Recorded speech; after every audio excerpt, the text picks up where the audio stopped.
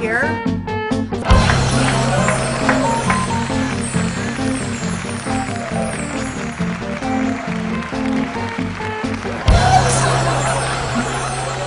Oh. You know, we used to have a policy no crying fits after midnight. But that is just not realistic anymore. The self help books tell you, you can't be 100% happy 100% of the time. But you can be 100% happy 88% of the time. If you're willing to be 100% unhappy 12% of the time. Wow, we had a blast. We're laughing, we're looking at each other going, yeah, she's right. And then my toe is tapping the entire time. Evicted? You say that you're fine, you're out of your mind, you better admit it. You're on a third date with someone you hate, you better admit it. You better admit it, I don't wanna. You better admit it, I don't have to. Oh, I don't think so. I love the way she combines humor with this really hilarious, insightful commentary that we can all relate to. Gotta change, gotta change, gotta change, gotta change, gotta change, gotta change, gotta change. Breakthroughs are really possible, especially now.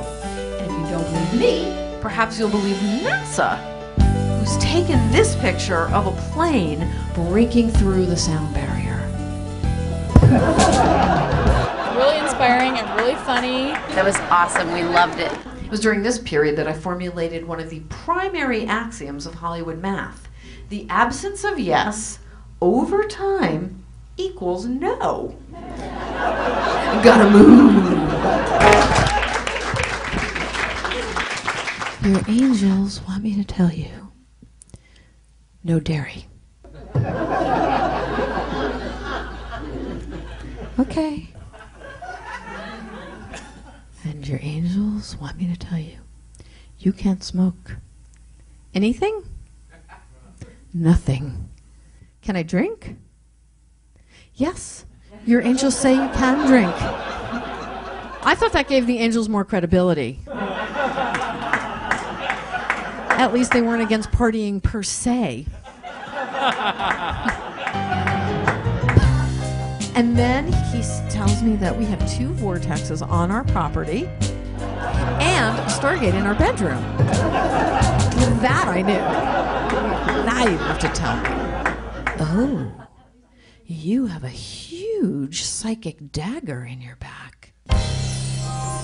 Forget about Kansas. We're not even in Oz anymore. We're all being evicted individually, you know, from houses and jobs and lifestyles, but also collectively evicted from the Newtonian, network Newsian, petroleum filling upian, Piscean age into the much more fluid and mysterious Aquarian quantum field. Oh my god, the shift is really hitting the fan. Anyone ever me why I'm so overdressed, I tell them I'm on my way somewhere better.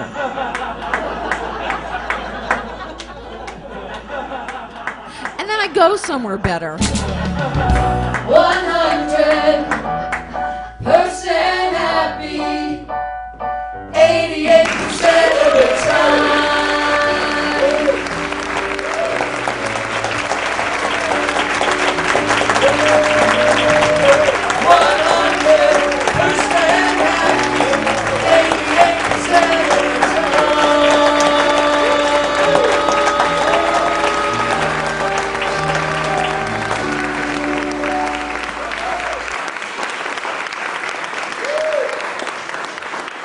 Okay, we're here with Beth Lapides, and she's an author, a teacher, an activist, a first lady candidate, and what else are you?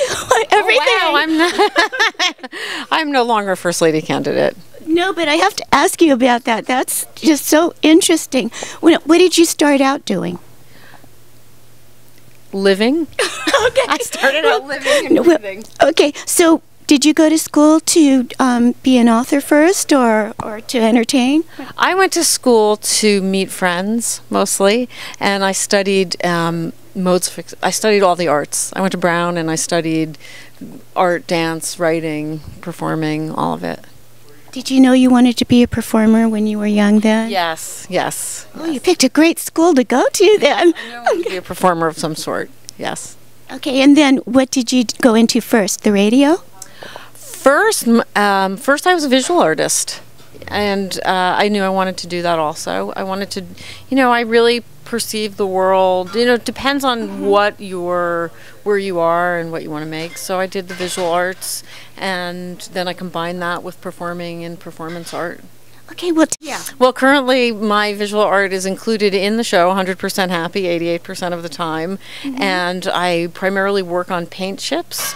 And it's sort of the relationship of home improvement and self improvement and this idea of making things better. So the drawings are all on paint chips, which I just love. I have them around and I love working on uh, anything except a blank page. You know, I love the idea that there's something that already exists that you make work onto. So the paint chips were lying around; they're just so beautiful. So I started working on those, and I've had shows and I've sold those. But right currently, they're mo- they're I'm working specifically for the show and making visual work as part of the show. Oh, okay. Um, then how did you get onto radio? Well, I got onto radio by doing live work and hosting a show called Uncabaret, and the uh, network executive saw me do that and thought I'd be a good radio host. Well, tell us about Uncabaret. On Cabaret was a comedy show that was very focused on storytelling and personal point of view, and um, was probably the first sort of alternative comedy show. And it was a place where you could be uh, unhomophobic, unxenophobic, unmisogynist. It was the Uncabaret, and so it was a place for uh, comedians to do something that wasn't just set a punchline, set a punchline, and they could be more in their own rhythm. And it was very women friendly and gay friendly, and it wasn't so combative as the comedy clubs. And I hosted it, and uh, Andy Dick, Janeane Garofalo, Michael Patrick King, John Riggi, Margaret Cho. It was really, it was really com- comedians that had a different sort of take on the world. Very, everybody with very strong point of view. Julie Sweeney, Taylor Negron. It was really sort of the best of the best. And how did you come up with the idea to, to do that? I was performing a one woman show at a place called the Women's Building, and they were laughing just a little bit too hard. I was like, it's funny, but it's not quite as funny as you think it is. When was the last time that you laughed? And they said, oh, we can't go to comedy clubs because we're women and we're lesbians and we're artists, and they make fun of us.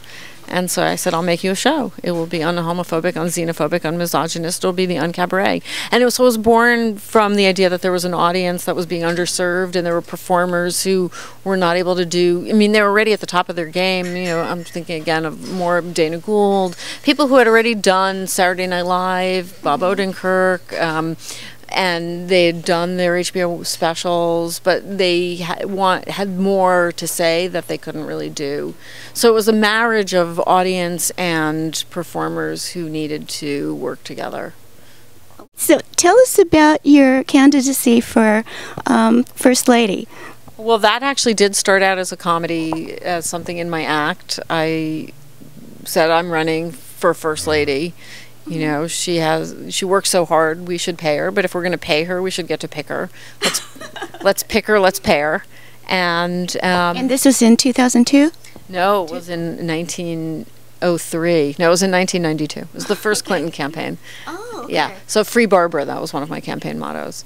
And the, it was not for Hillary and against Barbara, but it, the idea being that, you know, it really is a job and we really should be paying her and we should pick her. And uh, there was a lot of ideas. One idea is that if First Lady was elected, that would free up the presidency to be held by a woman because she wouldn't have to come with her family intact. And then I was like, of course, men could run. They probably will, and then they'll have everything. Yeah, but a man couldn't be a First Lady, right? No, but he could. That was my idea. Was that really the it's the the first lady is a position that's really about sort of masthead and cheerleading and social agenda more than fixing things with policy. Okay, and how many one woman shows have you done? Oh, you know, I've done a number. Uh, I have not counted them lately, but I've been doing them. You know, I would, I've always, I've done one woman shows, and then I've gone off and done other some act. You know, I will do a show and then act, and then a show and then Uncabaret and then a show. But it's always the thing that I've come back to. You know, eventually there was always another show, and so for me, that's been sort of the heartbeat of my creative life.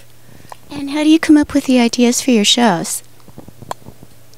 I, you know, how do you come up with ideas? Um, ideas come to you usually. You know, you come up Well, with you're obviously a very creative person because you're a visual artist, you're a performance a artist. word. You know, sometimes a word will strike me.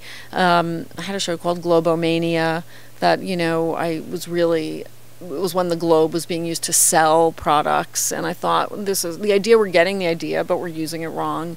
That was one of the shows. Th- This particular show, uh, the uh, name came to me in a conversation with a friend, which is a lot of times how you know good things happen, talking to friends, and. Um,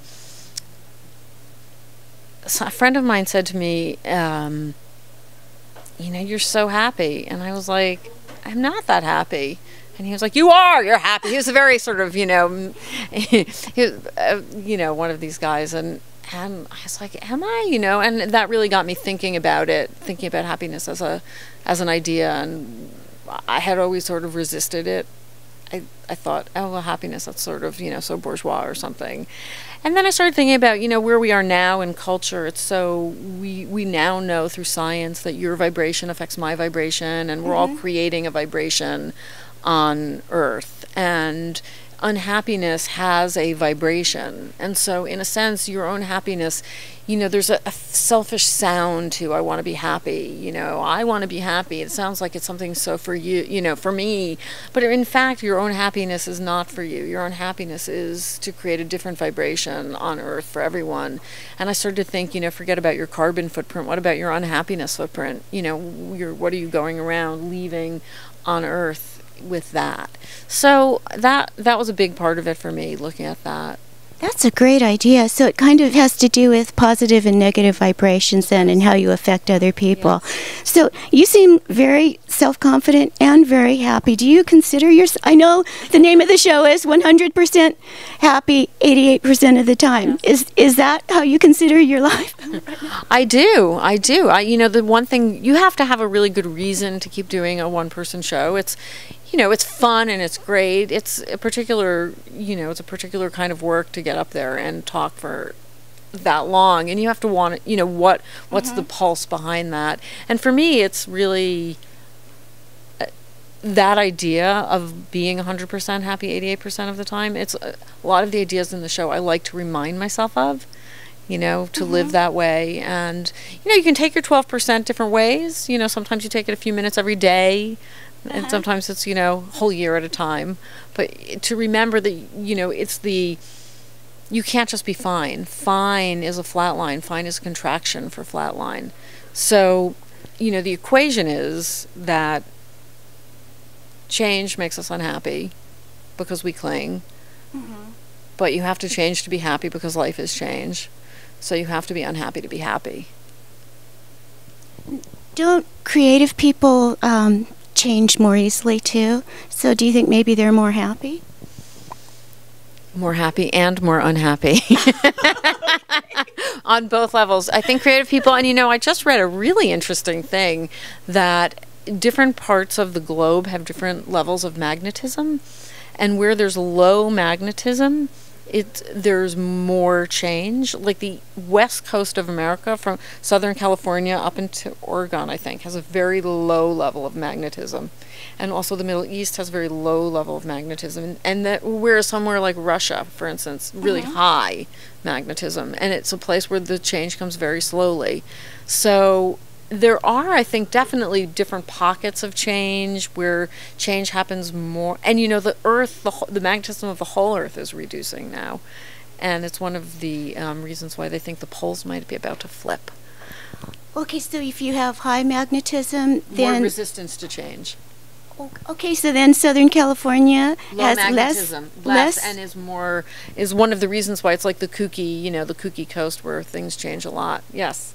Oh, well, that's good to hear. Well, then the Middle East is changing now. That's why they have high magnetism. yes, yes. yes. Oh, okay. Well, hopefully it'll change for the better. Well, uh, you know, this is kind of like the secret, isn't it? You know, where where the vibes and the um, the positive vibes and the negative vibes. Uh, As you know, I call the the secret the thing formerly known as the secret. well, I really liked that book. Yes. So, But it's not a secret anymore. oh, okay. so you're you started out positive. Have you always been positive in your No, life? No, in fact, um, my partner Greg said to me, uh, "You're so negative for a positive person," and I said, "No, I'm not.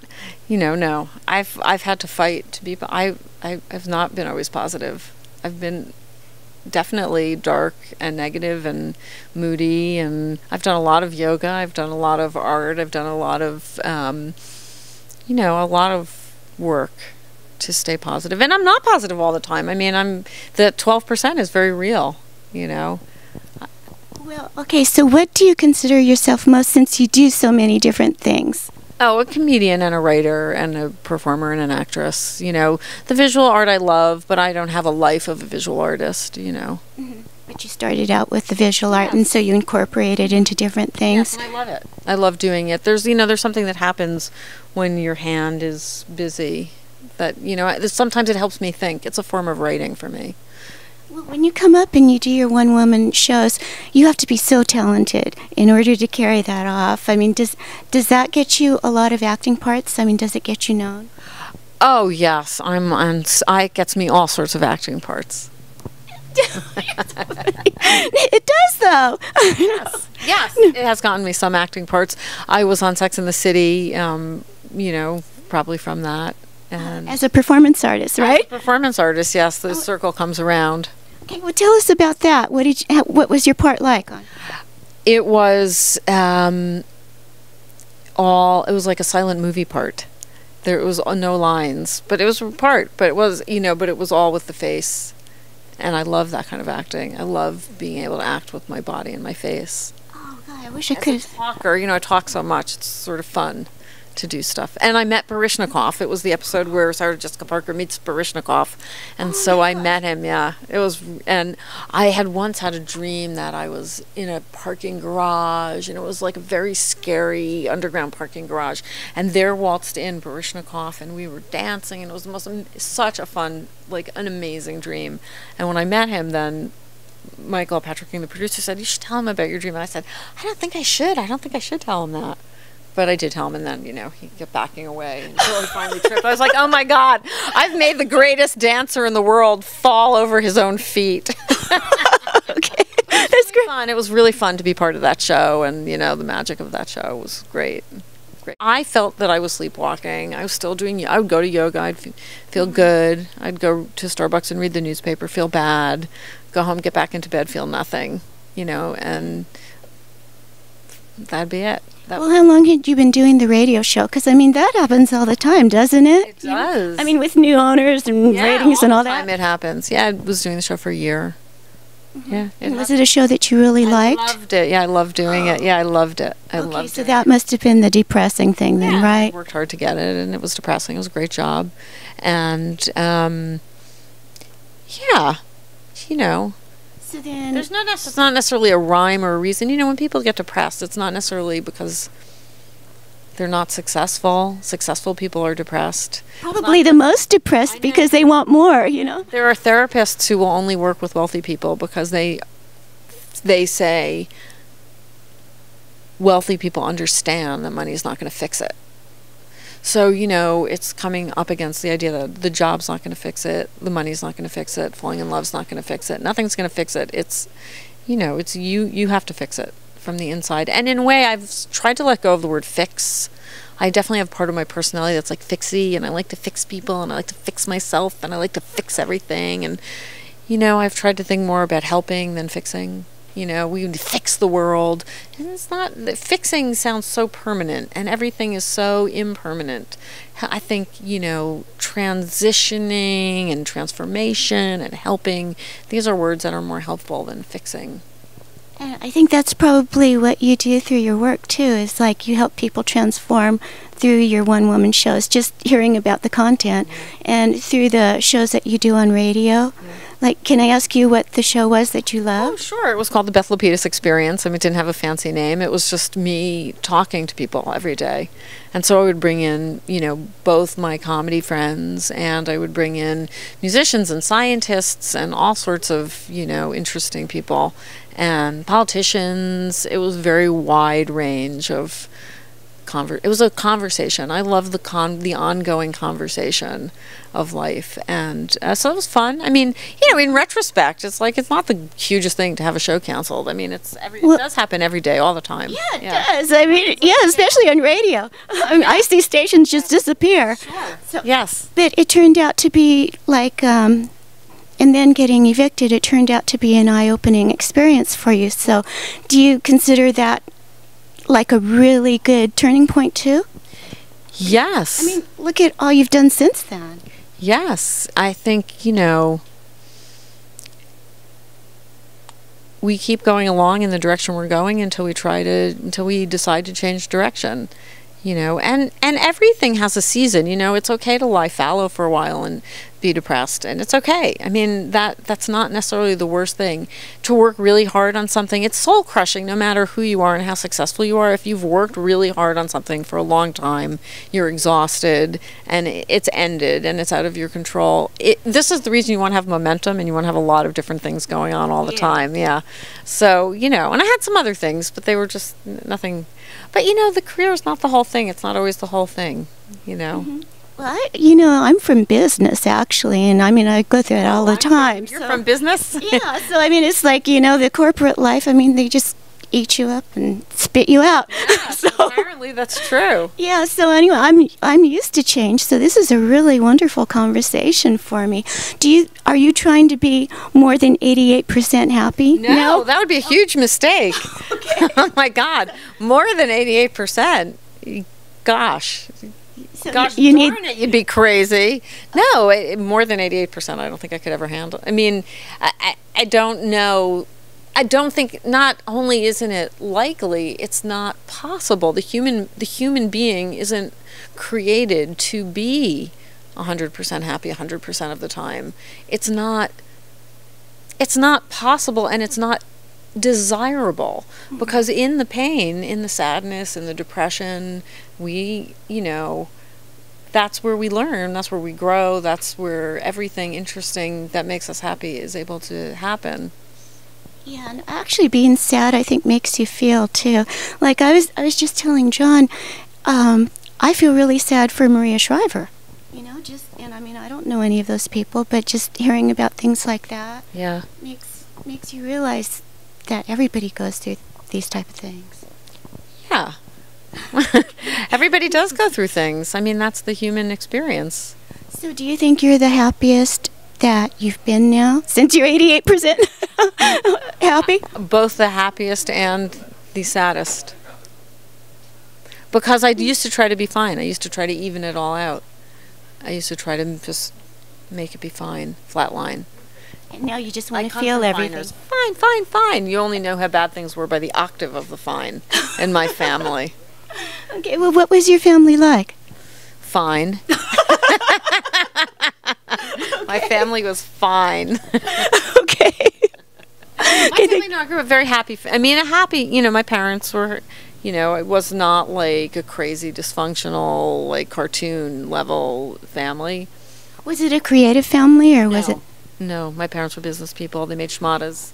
Oh, And, but they encouraged me, but that wasn't like an arty household. It was very suburban, middle class suburban Jewish Mm-hmm. family. Yeah, well, you seem like a, a thinker too. So I mean, that's that must come from your upbringing too, and from your Brown education. no, if it did come from my upbringing, we had Funk and Wagnalls encyclopedias. I mean, my parents were also not very, that bookish. They're they're.